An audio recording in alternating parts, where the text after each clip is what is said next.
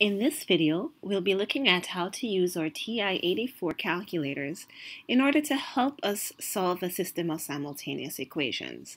So, uh, you may recall that the solution of a system of equations is the point of intersection.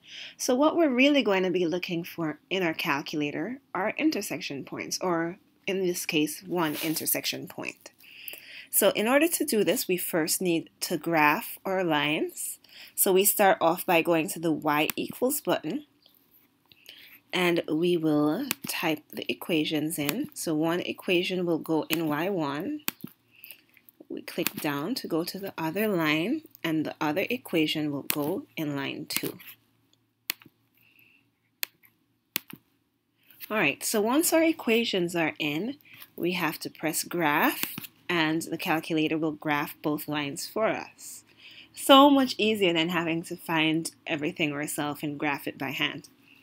Alright, so now that we have our graphs, in order to find the point of intersection, which you see right here, we need to go to second calc, which is the trace button, and we're looking for an intersect. So number five, or you can just scroll to five. When it says first curve, it will be on one of the lines. So just press enter. Now it jumps to the second curve, which is the second line. We can just press enter once again.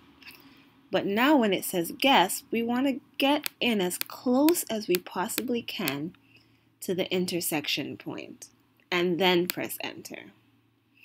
And it tells us our point of intersection.